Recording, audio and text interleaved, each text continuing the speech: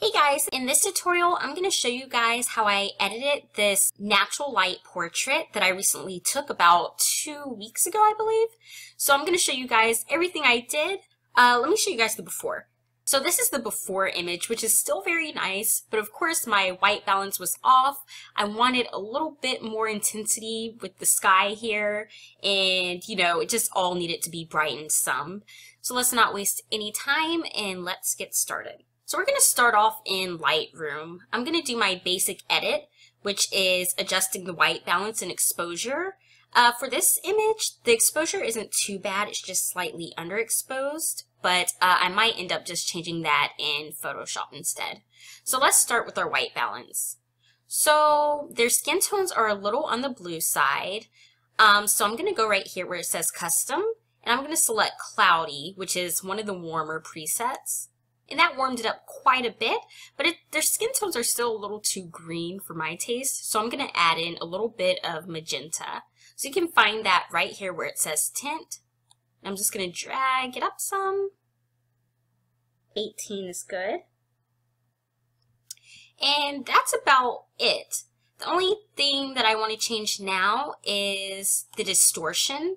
I was using my, I believe I was using my 50 millimeter yeah, I was using my 50 millimeter lens and I wasn't too close to them whatsoever, but there is still a slight bit of distortion. So I'm going to go down, keep scrolling, um, right here where it says, I already have it, where it says lens correction, just click on this checkbox where it says enable profile profile corrections and that'll fix um, any distortion that your image has. So now I'm going to just take this image on over to Photoshop. Okay, so I'm in Photoshop now, and I'm going to start off with changing the color of the mom's scarf. The colors we were using, the color theme for this Photoshop was coral and aqua, but she can only find a mint scarf, so I told her not to worry, to worry about it. I can probably just change it in Photoshop. So I'm going to go right here, and I'm going to go to Hue and Saturation. And so I believe this will probably be in the Cyans. And I'm going to click on this eyedrop tool. I'm going to click on the mom's scarf. And I'm going to start changing the color. So let's see. I'm going to take it up to there for now.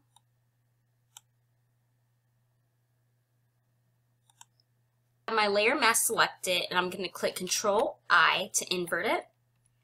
And I'm going to scroll on in, zoom on in rather, click B on my keyboard for my brush tool. And I'm just going to change my brush color to white, opacity at 100. And I'm just going to start painting the color on.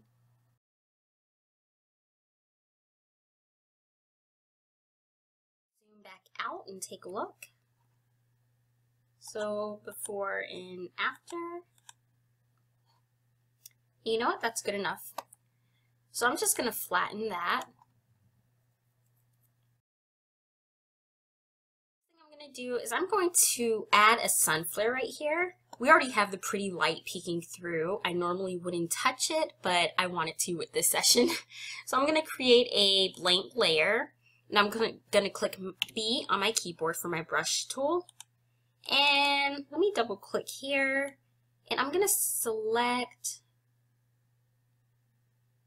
I'll start with the darker orange. About right there. Click OK. I'm going to expand my brush and click. Oh, and make sure you guys have a soft brush selected. I'm going to double click my color again right here.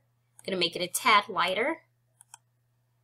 And I'm going to decrease the size of my brush. So I'm going to go one, two, three, four, and click. I'm going to do the same thing, double click the color, select a lighter color, about right there. I'm going to go one, two, three, and click. Now I'm using my bracket bars to expand and decrease the size of my brush. So now I'm going to change my blending mode to screen. I'm going to click and drag this up. So that gives it like, you know, the whole dreamy, magical light type look. Um, I actually have a tutorial showing how to do this too. But yeah. So I'm going to drag it to about there.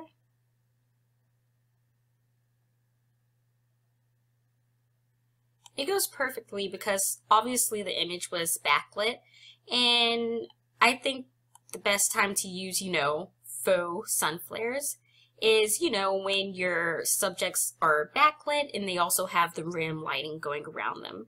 So as you can see, she has the rim light here, he has it here, so it'll look a little bit more realistic when you have, you know, your sun flare in the right place. Okay, so I'm going to do that. Click on your check mark.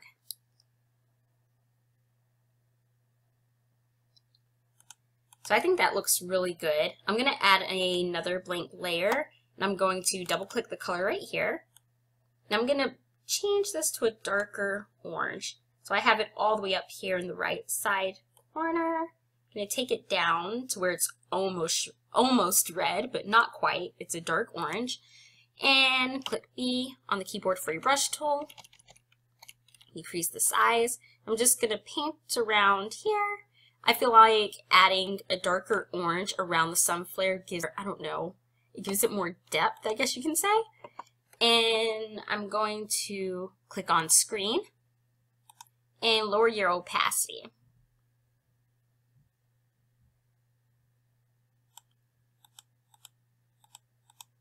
And that's good. So now I'm going to darken my edges by adding a uh, black gradient. So I'm going to go right here and I'm going to click on gradient.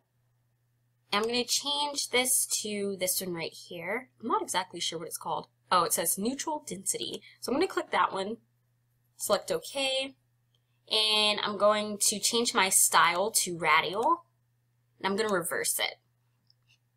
I'm going to select OK. Make sure that you have your layer mask selected and a soft black brush. And now I'm just going to start removing this from up here where the sun flare is.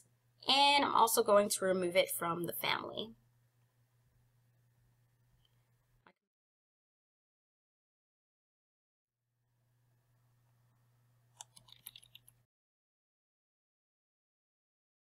Okay, so now I'm just going to lower my opacity.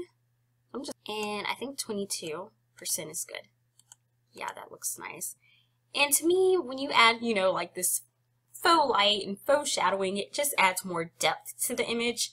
Of course, it's always good to get it right in camera, but for the times where you don't, it's good to know how to, you know, add that in Photoshop.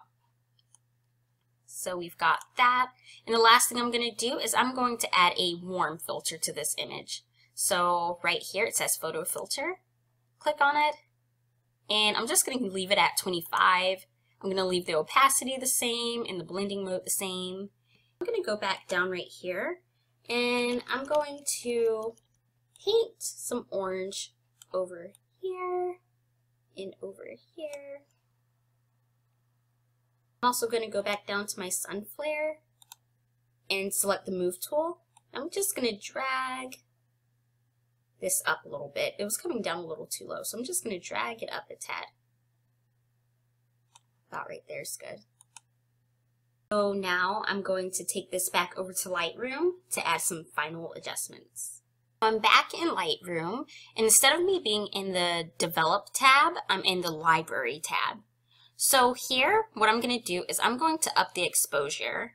So uh, Lightroom has some uh, quick presets right here, and I like to use the exposure one.